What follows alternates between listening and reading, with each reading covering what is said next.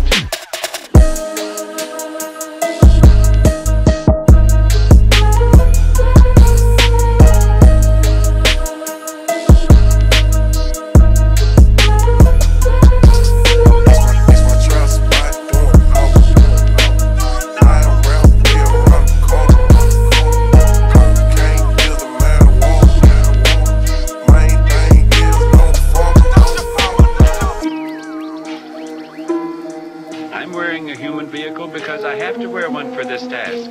I don't like it. It doesn't match me. I lay my life down.